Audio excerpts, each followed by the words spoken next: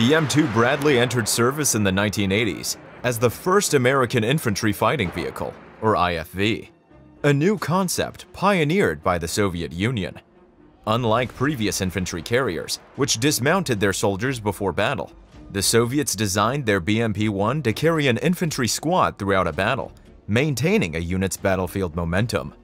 IFVs were equipped with a small caliber autocannon, anti-tank missiles, and heavier armor than their predecessors.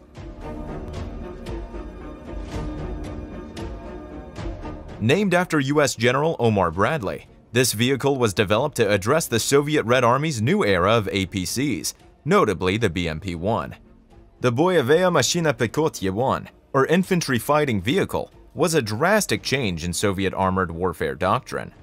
As the first mass-produced infantry fighting vehicle deployed by the Soviet military, the BMP-1 combined the properties of an APC with those of a light tank.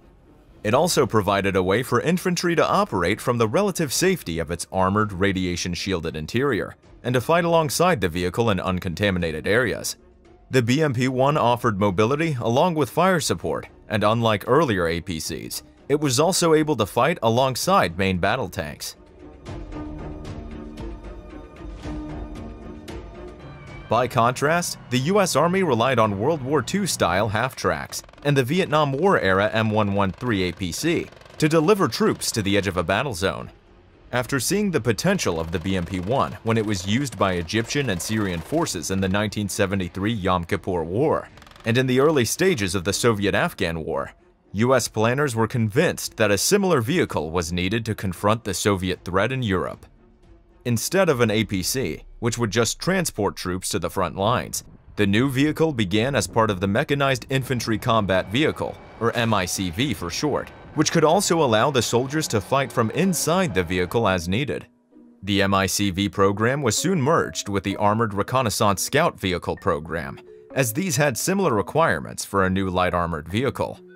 However, that required the addition of a turret with a 25mm M252 Bushmaster chain gun, 7.62mm M240 machine gun, and BGM-71 TOW anti-tank missiles. With the added armaments, the M2 required a crew of three, including the commander, gunner, and driver, but only had the capacity to carry six fully equipped soldiers. The M2 was designed to provide protection for those inside from small arms fire and artillery, as well as TOW or Stinger missiles. The troop compartment was also designed with six external firing ports, two on each side and two on the passenger ramp. The M2 Bradley entered service in 1981, replacing the M113, while at the same time the M3 Bradley Cavalry Fighting Vehicle, or CFV for short, was also introduced. Classified as an armored reconnaissance and scout vehicle, the M3 was designed to carry additional TOW missiles and more ammunition for the 25mm and 7.62mm machine gun. Both versions upgraded in 1988 as the M2A2 and M3A2 with new composite armor, improved ammunition storage, and improved suspension system and a higher water barrier skirt that improved amphibious operations. However, with the M2A2 and A3 versions, the side ports have been removed, as these were seen to be ineffective for use in combat. Some 2,200 Bradley vehicles were deployed during Operation Desert Storm, and only three were lost to enemy fire. The M2 Bradleys actually outperformed the M1 Abrams tank and destroyed more Iraqi armored vehicles. However, in the Iraq War, the Bradley proved to be vulnerable to improvised explosive devices, or IEDs, and rocket-propelled grenade attacks, and in 2007, the Army stopped using the Bradley in combat in favor of the MRAPs.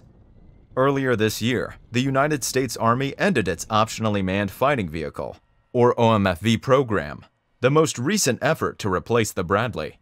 The U.S. military had sought to replace the M2 Bradley twice before, and in the process has spent $20 billion to develop a replacement. As a result, the Bradley will likely remain in service for at least another decade.